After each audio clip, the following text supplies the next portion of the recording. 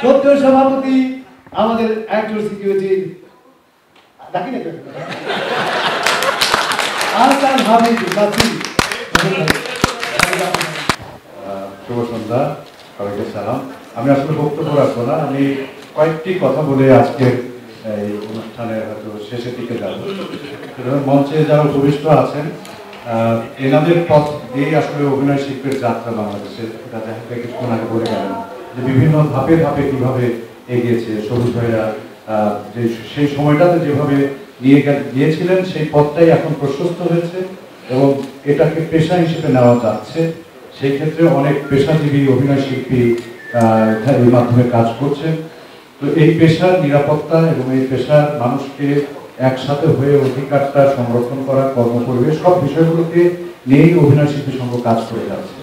আমি বারবার নূর ভাইকে এখানে আমাদের অনুষ্ঠানে একটু অনুরোধ করি আসার জন্য। আমাদের এবার কল্যাণ ট্রাস্টের সময় নূর ভাই বেশ যথেষ্ট ভূমিকা রেখেছিলেন, আমি আগেও বলেছি। কল্যাণ ট্রাস্টে আমরা অন্তর্ভুক্ত হতে পেরেছি, এখন সেই সুফলগুলো নিয়ে আসতে গেলেও নূর ভাই, আফজাল ভাইরা, আমাদের সিনিয়র যারা আছেন, তাদের অনেক সহযোগিতা দরকার। এবার একটা তরুণ টিম আপনারা নির্বাচিত করেছেন। সবাই আপ্রাণ চেষ্টা করবে শিল্পীদের স্বার্থ রক্ষা করার জন্য, বিভিন্ন কর্ম কর্ম পরিকল্পনাগুলো বাস্তবায়ন করার জন্য। সেই সাথে আপনাদের সকলের সহায়তা অনেক অনেক প্রয়োজন এবং সকলের সহায়তায় আমাদের আরেকটি বিষয় দূর করতে হবে, সেটা হচ্ছে আমার কাছে যেটা মনে হয় জেনারেশন গ্যাপ আমাদের অভিনয় শিল্পীদের মধ্যে একটা বড় ব্যাপার আছে।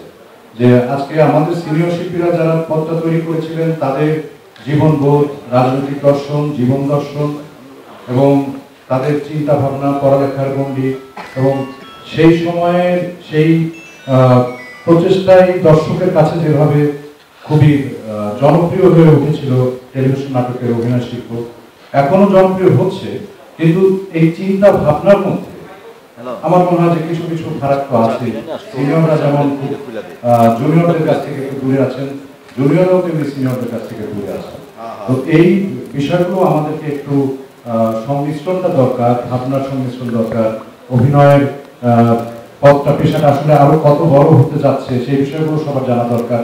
আমরা ইতিমধ্যে জানি যে বাংলাদেশের নাটক একসময়, এই পাঁচ বছর আগেও বাংলাদেশের বাইরে কেউ দেখতে পারতেন না।